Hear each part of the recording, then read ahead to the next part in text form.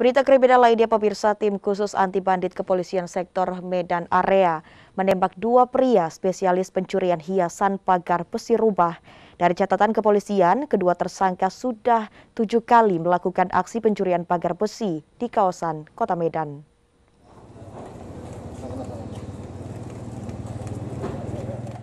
Kedua tersangka masing-masing HG dan AS terpaksa ditembak polisi karena berusaha kabur dan melawan saat ditangkap di kawasan Jalan AR Hakim dan Jalan Denai, Kecamatan Medan Area Selasa pagi. Dalam aksinya, kedua tersangka mengambil hiasan pagar besi rumah dengan cara merusak paksa menggunakan balok kayu. Aksi kedua tersangka mencuri hiasan pagar besi rumah terekam kamera pengintai CCTV milik korban di Jalan AR Hakim, Kecamatan Medan Area. Kedua tersangka awalnya berjalan kaki mendatangi rumah korban, lalu memanjat dan merusak paksa hiasan pagar besi menggunakan balok kayu. Pelaku berhasil membawa kabur tiga hiasan pagar besi rumah milik korban senilai 20 juta rupiah.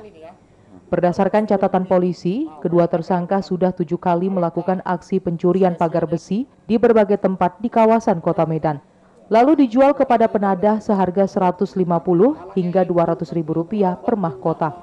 Dari tangan kedua tersangka, polisi berhasil mengamankan barang bukti dua buah hiasan pagar besi rumah yang belum sempat terjual, satu balok dan uang 50 ribu rupiah, sisa hasil penjualan mahkota pagar besi milik korban.